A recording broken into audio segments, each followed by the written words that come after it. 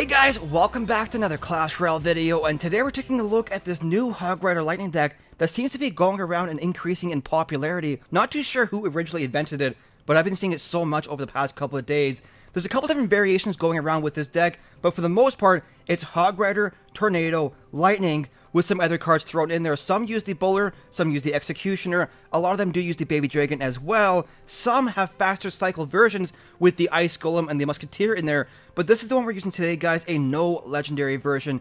If you do have the log, you can use the log in place of the Zap spell. In fact, if you are using this deck in challenges, I would recommend using a log in there because log does kill Goblin Barrel, but more than likely your Zap spell will be high enough level on ladder to kill opponent's Goblin Barrel. So anyways guys, there's a deck briefing today. Let's go ahead here, hop into one replay. Then we'll finish off with some live battles. Alright guys, here we go, facing off against Mr. Cola on the top there. Now I'm not too sure if he's from the Coca-Cola company or the Pepsi Cola, because he doesn't really indicate in his name, unless his name means something else completely, and I don't understand it. If it is, I do apologize.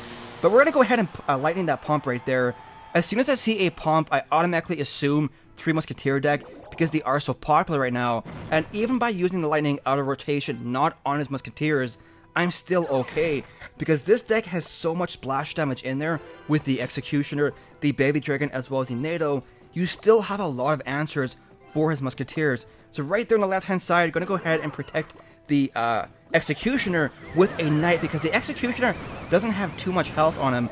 And a double set of Musketeers can actually kill him fairly fast, so you have to protect the Executioner on whichever lane has the double Musketeers. And notice how I also used the Tornado spell there to pull back the Battle Ram.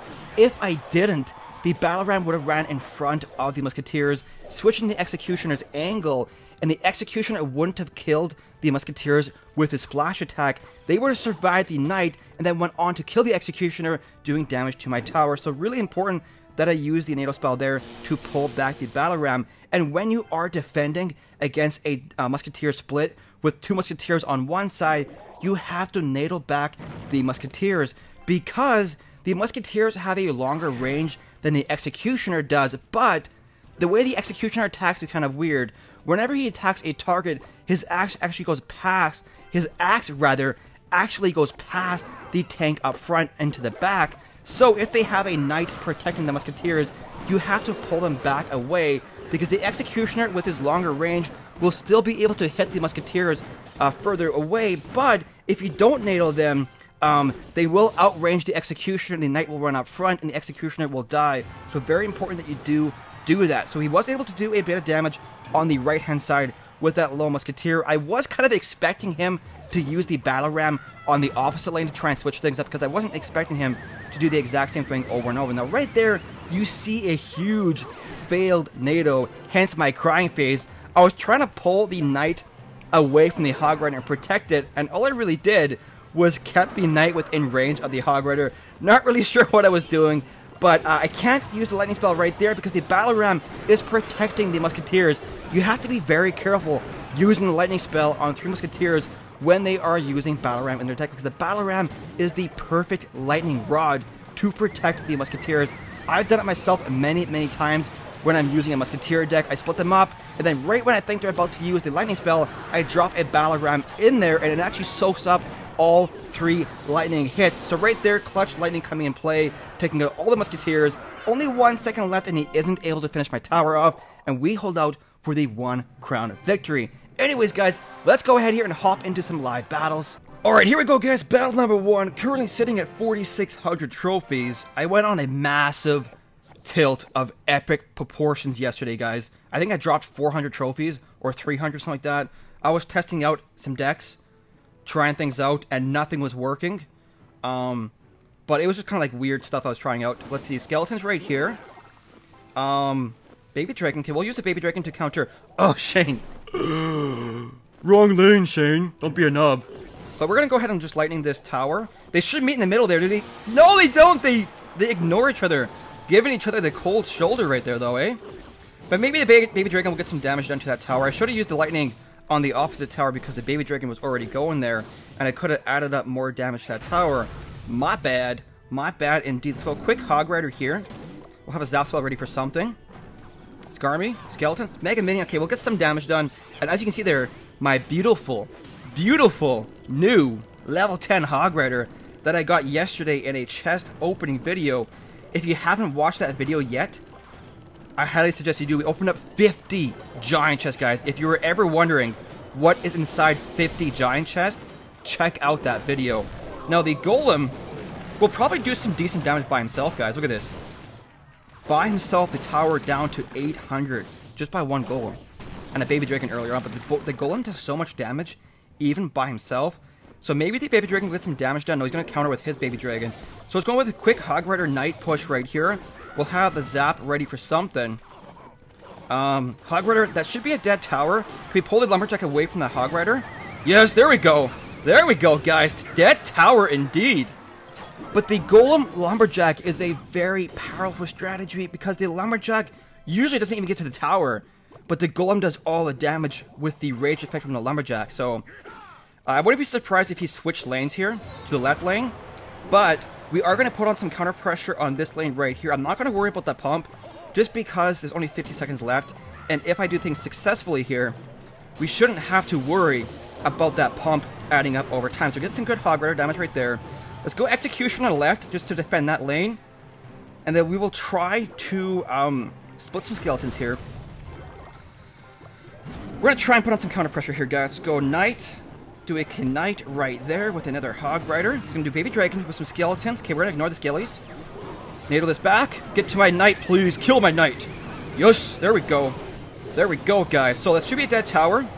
Pretty close, though, eh? Now, I want to do Baby Dragon here. I'm Gonna kill this uh, Golem here in a second. And then, whoa, nice lightning spell, sir. So the Baby Dragon might finish this tower off. No, no more hits. We're gonna lightning right here for the win. And we're able to back this uh, Baby Dragon because we don't want him getting any towers. Good game to our friend STE. Up top there, guys. There we go, starting things off with a W. I should have let him, guys, I apologize. STE, if you're watching, I apologize. I should have let your Baby Dragon hit the tower and given you one crown because I would have had the victory anyways, but I got nervous. So let's go one more, and we might, depending on how I feel, facing up against Mark. Two girls, one golem. I won't ask any more questions, but we might do a challenge battle after this just to see how it does at equal level. Um, a lot of you guys tell me that you you prefer ladder gameplay, but I do like throwing in challenge gameplay as well, just because the balance is a bit different. So I might try and do one challenge battle at the end of every video. But we'll kind of see how that goes, how that idea pans out. Alright, yes, kill! No, not the poison! Ay ay. Okay, the baby D should hopefully hit, uh, hit the furnace from across the river. Yes, shoot that furnace. Don't die to the electro wizard. Guys, I can't sing. In case everyone. Yes, baby dragon's still alive. Nice. Kill the furnace, please. Nice. Now we're gonna go in here with a quick hog rider. Very fast. Very, very fast hog rider here. Uh, he's gonna do knight archers combo. No, we're gonna zap these skeletons. Go away, skeletons. Nice. Look at this beautiful level 10 hog rider, guys. Seriously, check out that 50 giant chest, guys. It was amazing. It was beautiful. Just all different things. So let's go. Skeletons. Yes! Uh-oh.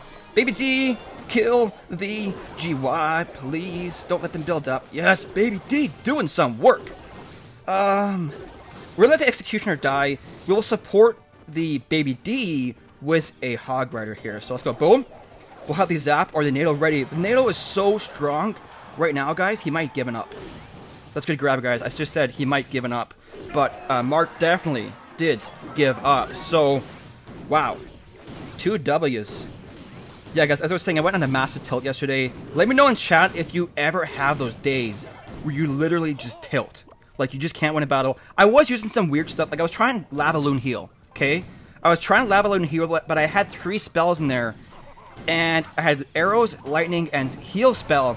And I just found that the three spells, it led to some awkward card rotations where you just couldn't defend anything because you had arrows, lightning, and heal in your hand and like balloon, and they would do a hog rider and you had nothing. So I feel like uh, in the future when I test out another Lavaloon heal deck, I'll probably just do two spells, maybe arrows and heal spell. I don't know. If you guys have tried Lavaloon heal, let me know in the comment section below. But we're getting distracted here. Boom, plus 27 trophies for us. Mr. Mark is now dead, guys. There we go. But you know what? Let's go ahead and finish off with one more ladder match facing off against Ultimatum, guys. Oh no. That's a very imposing name. Strikes fear in the enemies. Sorry, guys. I'm just fooling around here. Guys, can we get some rest in peace, Shane, uh, in the chat? In the comments, rather. I'm not doing a live stream today. Can we get some rest in peace, Shane? Ay, yi, guys. Look at this. Look at this. Makes me sad, man. Why? Why, Mr. Ultimatum? Why? What? My knuckle literally just touched the screen, guys. I went to go use Zap spell, and I had my hand kind of like this. I went to go tap, and then my pinky knuckle right there hit the screen. Wow. Feels bad, man. Please don't use any more RG's ultimatum, even though I know you probably will. But let's go Baby D right here. Oh, double Baby D action right there, guys. Uh, yeah, where you going, Knight, huh? Yes, there we go. Kill the Baby D, kill the Knight. Alright, alright, so they should exchange killing blows right there. Killing burps, as I should say, because they're kind of burping, I think. Execution there. So, what do we do here, guys? Do we do... See, this is where the log would be more useful, because the log does kill Goblin Gang, whereas that doesn't. Um... Come on. Oh, one more.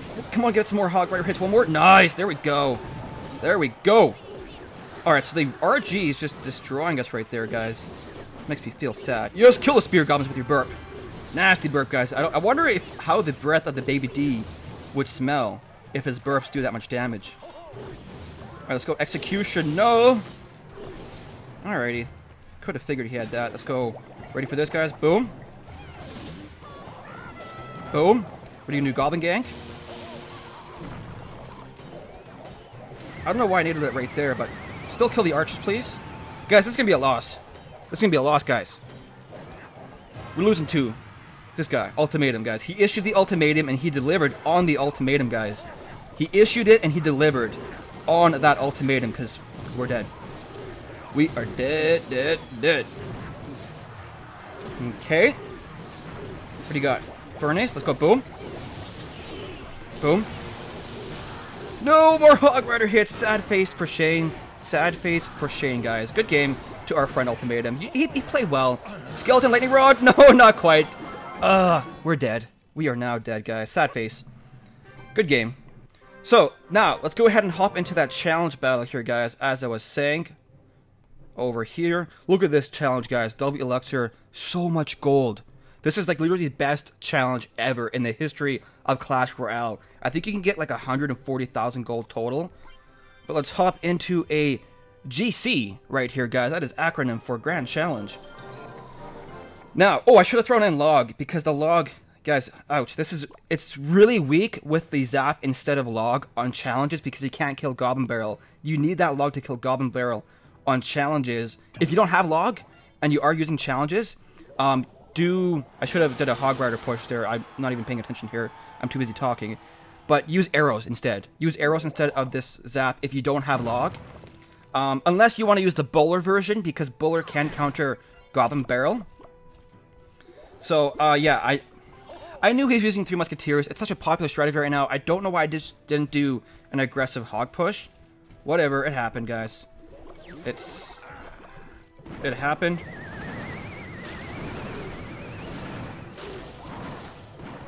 Nice. Okay, Lumberjack, go to the tower. Get three, four. Whoa! That Lumberjack is strong, guys. Can we Nado here? Uh, definitely an unnecessary Nado there, because the skeletons would have countered the barbs pretty well. Now he's going to do a free pump right here, because that Nado was too much, I think. Um, let's go Hog Rider right here. Can we zap something? What has he got for us? Zap the goblin. See, guys, I need the log in here. I need the log in here. But we did get some Hog Rider hits, but now he's got a free pump. And in uh, challenge battles with longer overtime, even a pump with a minute left is is uh, trouble. So he does have the battle ram in his deck. And the golem! Guys. Rip. Literally rip. Okay, where is your musketeers coming from? I hope he doesn't lightning rod them. Where are they? He's saving up for them. No, you're gonna do this. Okay.